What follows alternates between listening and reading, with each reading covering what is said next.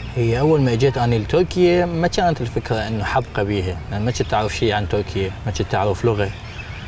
فالفكرة إنه كان موضوع مؤقت وأطلع. بس بعدين من عشت بيها وشفت المميزات اللي بيها كلش هواي المعيشة.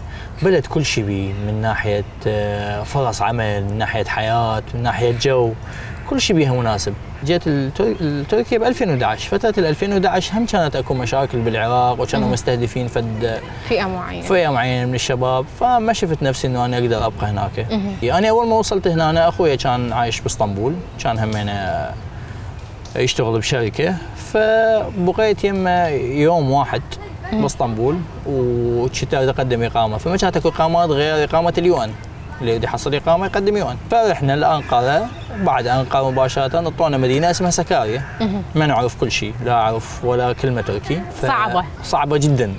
تعرفت على شباب هناك فطلعنا من انقره واتجهنا لسكاريا نزلنا بالاوتوغار مال سكاريا اللي هي محطة الباصات نريد نفتهم شيء ندل شيء آه فنادق ما يعطونا لأن يعني شباب. لأن شباب أربع شباب. إحنا نريد نأجر شقق ونقعد ماكو. فبقينا هناك بجامع. وين بت... بالجامع؟ بالجامع بقينا إيش قد بقيتوا على هذه الحالة؟ يعني ثلاث أربع أيام تقريبا. وبعدها انحلت أموركم؟ أي بعدها لقينا شقة وقعدنا أربع شباب بيها.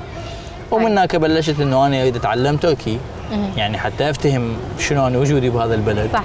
أي. فهناك التعليم مال تركي كان إنه لازم نختلط ويا الناس. يعني طيب. موضوع المعاهد أو شيء كان صعب شوية. شنو أكثر شيء خلاك تتعلم اللغة إذن؟ آه هو اختلاطي بال... بالناس. أي. بالأتراك اشتغلت بمزرعة.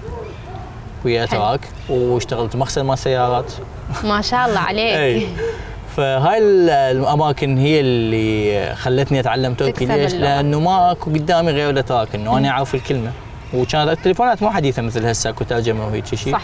فكان تليفوني دفتري.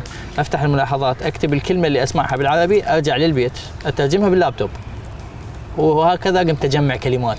لمدة سنة كاملة بهالوضعية هاي لحد ما تعلمت اللغة التركية.